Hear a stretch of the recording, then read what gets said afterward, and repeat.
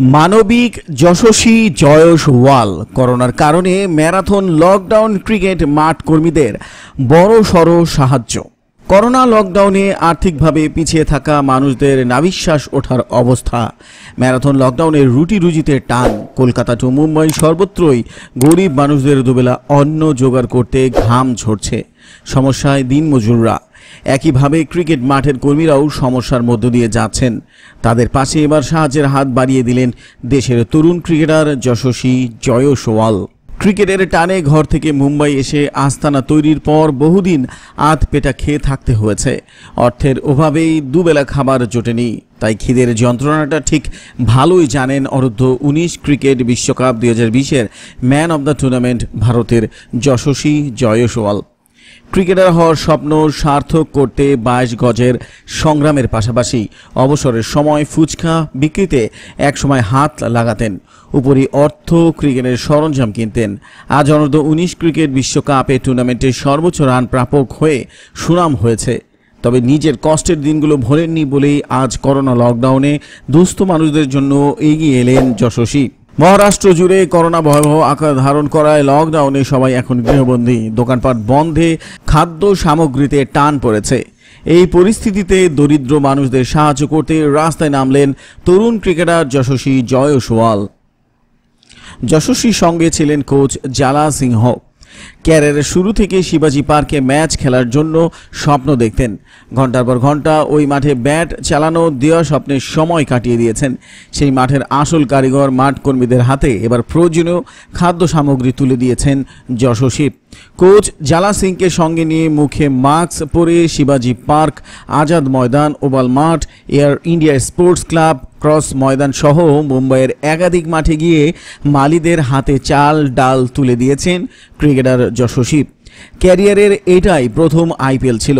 দুই দশমিক চার শূন্য কোটি টাকায় রাজস্থান তাকে দলে নেয়। যদিও করোনা উদ্বেগে দেশে ক্রিকেট এখন পুরোপুরি বন্ধ রয়েছে।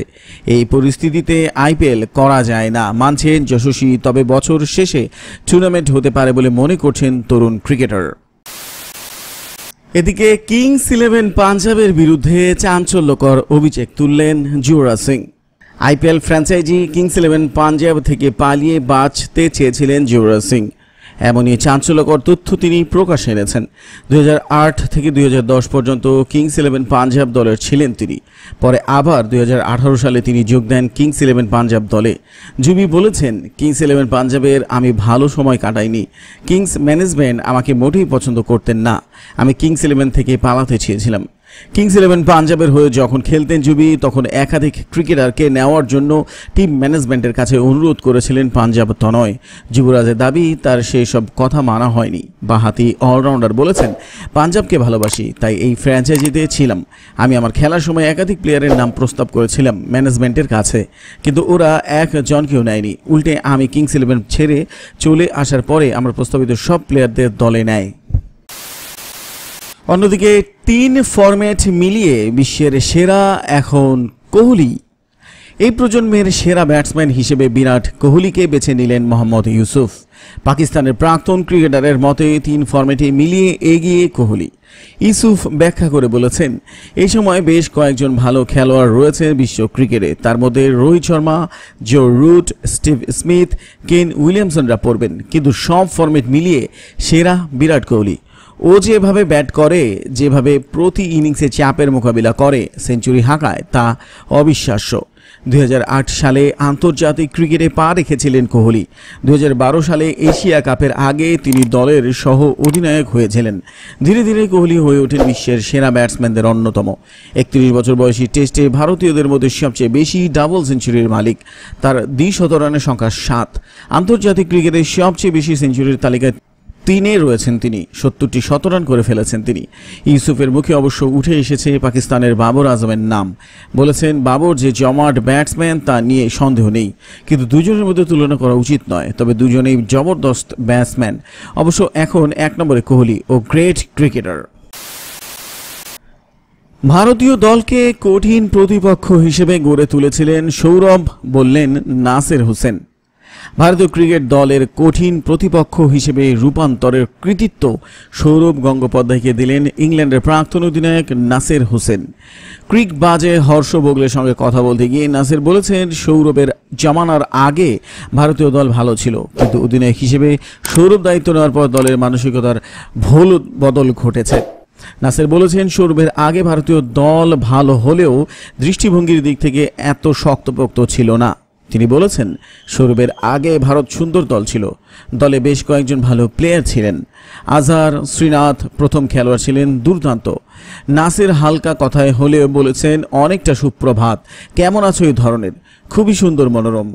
গাঙ্গুলি এই দলকে কঠিন করে তোলেন। ইংল্যান্ডের সাড়ে দশটা বেজে গেছে। টসের জন্য গাঙ্গুলির অপেক্ষা করছি। কোথায় গাঙ্গুলি? উল্লেখ করে সৌরভ একশো ছিচল্লিশ একদিনের ম্যাচে উনপঞ্চাশ টেস্টে ভারতকে নেতৃত্ব দিয়েছেন। এর মধ্যে ভারত জিতেছে যথাক্রমে ছিয়াত্তর ও একুশটিতে। ইংল্যান্ডের প্রাক্তন অধিনায়ক, বর্তমান ভারতীয় দলেরও ভূয়সী প্রশংসা করেছেন। ফিটনেস সম্পর্কে দলের সংস্কৃতি বদলে দেওয়ার জন্য বর্তমান অধিনায়ক বিরাট কোহলির তারিফ করেছেন তিনি। নাসের বলেছেন, এভাবেই ভারতীয় দলকে এগিয়ে নিয়ে চলেছেন কোহলি। ফিটনেস দিয়ে দলের সংস্কৃতিটাই বদলে গিয়েছে তারপরও জয়ের মানসিকতাও দলের মধ্যে চড়িয়ে দিতে পেরেছে কোহলি। সেরা অধিনায়ক হিসেবে নাসের বেছে নিয়েছেন নিউজিল্যান্ডের কেন উইলিয়ামসনকে। তাকে খেলার খুব ভালো দূত হিসেবে উল্লেখ করেছেন নাসের হুসেইন। তার বারো বলে অর্ধ শত রানের রেকর্ড কোন ভারতীয় ক্রিকেটার ভাঙতে পারেন জানালেন যুবরাজ। বারো বলে অর্ধ শত রান আন্তর্জাতিক টি টোয়েন্টিতে করা তার এই রেকর্ড কেবল ভারতীয় অলরাউন্ডার হার্দিক পান্ডিয়া ভাঙতে পারেন বলে মনে করেন লেজেন্ড যুবরাজ সিং। কেন বিরাট কোহলি এবং রোহিত শর্মার নাম উল্লেখ করলেন না জুবি? দু হাজার টি টোয়েন্টি বিশ্বকাপের গ্রুপের গুরুত্বপূর্ণ ম্যাচে ইংল্যান্ডের মুখোমুখি মহেন্দ্র সিং ধোনি নেতৃত্বাধীন ভারতীয় ক্রিকেট দল। দক্ষিণ আফ্রিকার ডারবানে হওয়া এই ম্যাচে আগে ব্যাট করে বিশ ওভারের চার উইকেট হারিয়ে পাহাড় প্রমাণ দুশো রান তুলেছিল টিম ইন্ডিয়া। জবাবে আঠারো রান আগে শেষ হয়ে গিয়েছিল ইংল্যান্ডের ইনিংস। ওই ম্যাচে ষোলো বলে আটান্ন রানের ঝড়ো ইনিংস খেলেছিলেন যুবরাজ সিং। মাত্র বারো বলে অর্ধ শত রান করেছিলেন জুবি যা আন্তর্জাতিক টি টোয়েন্টি ক্রিকেটে রেকর্ড। এই ম্যাচে ইংল্যান্ডের ফাস্ট বোলার স্টুয়ার্ট ব্রডের একেবারে ছটি ছক্কা হাঁকিয়েছিলেন যুবরাজ সিং। এখনও পর্যন্ত বিশ্বের কোনো ক্রিকেটার আন্তর্জাতিক টি টোয়েন্টিতে যুবরাজ সিংয়ের বারো বলে অর্ধ শত রানের রেকর্ড ভাঙতে পারেননি। তা বলে তার রেকর্ড বরাবর অক্ষত থাকবে তেমনটাও বিশ্বাস করেন না ভারতের প্রাক্তন অলরাউন্ডার। ভারতীয় অলরাউন্ডার হার্দিক পান্ডিয়া তার রেকর্ড ভাঙতে পারেন বলে মনে করেন যুবরাজ সিং। যুবরাজ সিং এর কথায় পিচের সব দিকে ফ্রি স্ট্রোক নিতে পারেন হার্দিক পান্ডিয়া। এই তরুণ অলরাউন্ডার প্রতিভার খনি বলে জানিয়েছেন জুবি। তবে তাকে গাইড করার জন্য ভারতীয় দলে একজন ক্রিকেটার প্রয়োজন বলে মনে করেন যুবরাজ সিং। করোনা ভাইরাসের কারণে আইসিসি বাতিল করল দুটি বড় টুর্নামেন্ট করোনা ভাইরাস পুরো বিশ্বে আতঙ্ক ছড়িয়েছে। এর সবচেয়ে খারাপ প্রভাব খেলায় পড়েছে, কারণ এই ভাইরাসের কারণে বিশ্বজুড়ে সমস্ত খেলা বাতিল করা হচ্ছে। বেশ কিছু ক্রিকেট সিরিজ এখন পর্যন্ত এই ভাইরাসের কারণে বাতিল হয়েছে। বিশ্বজুড়ে এইভাবে খেলাগুলির বাতিল হওয়া নিশ্চিতভাবে সমর্থকদের জন্য খারাপ খবর। এর মধ্যে ক্রিকেট প্রেমীদের জন্য আরও একটি খারাপ খবর আসছে। আন্তর্জাতিক ক্রিকেট পরিষদ আইসিসি কোভিড উনিশ মহামারীর কারণে দুই হাজার একুশ মহিলা বিশ্বকাপ আর দুহাজার বাইশ পুরুষ অনূর্ধ্ব উনিশ বিশ্বকাপের জুলাইতে হতে চলা কোয়ালিফাইং টুর্নামেন্টকে স্থগিত করে দিয়েছে। মহিলা কোয়ালিফাইং প্রতিযোগিতা শ্রীলঙ্কায় তিন থেকে উনিশ জুলাইতে হওয়ার কথা ছিল, যার মধ্যে আয়োজক শ্রীলঙ্কা সহ দশটি দল অংশ নিত। অন্য দলগুলি হল Bangladesh, Ireland Netherland, Pakistan, Papua New Guinea Thailand, America, West Indies আর জিম্বাবুয়ে। আইসিসি অনূর্ধ্ব উনিশ বিশ্বকাপ দুই হাজার বাইশের কোয়ালিফাইং প্রক্রিয়া শুরু চব্বিশ থেকে তিরিশ জুলাই পর্যন্ত ডেনমার্কে হতে চলা ইউরোপ এলাকায় কোয়ালিফায়ারের সঙ্গে হওয়ার কথা ছিল।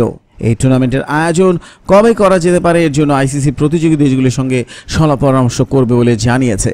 আইসিসি নিজেদের একটি বয়ান প্রকাশ করে বলেছেন, সদস্য আর সম্পর্কিত সরকার তথা জনস্বাস্থ্য আধিকারিকদের সঙ্গে সলা পরামর্শ করার পর আইসিসি মহিলা ক্রিকেট বিশ্বকাপ দুই হাজার একুশের কোয়ালিফায়ার আর আইসিসি অনূর্ধ্ব উনিশ ক্রিকেট বিশ্বকাপ দুই হাজার বাইশের কোয়ালিফাইং প্রক্রিয়াকে স্থগিত করার সিদ্ধান্ত নেওয়া হয়েছে। এই মহামারীর মধ্যে আমাদের প্রথম প্রাথমিকতা খেলোয়াড়দের স্বাস্থ্য, এই কারণে আমরা কোনো রিস্ক নিতে চাই না। যে কারণে আমরা এটা বর্তমানে স্থগিত করে দিয়েছি। আন্তর্জাতিক ক্রিকেট পরিষদ আইসিসি মার্চ মাসে দুই হাজার একুশ টি টোয়েন্টি বিশ্বকাপ আর দুই হাজার তেইশে পঞ্চাশ ওভারের বিশ্বকাপের সমস্ত কোয়ালিফায়ার টুর্নামেন্ট করোনা মহামারীর কারণে স্থগিত করে দিয়েছিল। দুই হাজার একুশের টি টোয়েন্টি বিশ্বকাপ আর দুই হাজার তেইশের ওয়ানডে বিশ্বকাপের আয়োজন করতে হওয়ার কথা। এখন আইসিসি দুই হাজার একুশ মহিলা বিশ্বকাপ আর দুই হাজার বাইশ পুরুষ অনূর্ধ্ব উনিশ বিশ্বকাপের কোয়ালিফাইং টুর্নামেন্টকে স্থগিত করে দেওয়া হলো। সো ডিয়ার ফ্রেন্ডস এই প্রতিবেদনে এই ছিল আমাদের সমস্ত আপডেট। নিত্য নতুন ক্রিকেটের আপডেট পেতে মাস ক্রিকেট ইউটিউব চ্যানেলটিকে সাবস্ক্রাইব করে সাথেই থাকুন। ভিডিও দেখার জন্য ধন্যবাদ।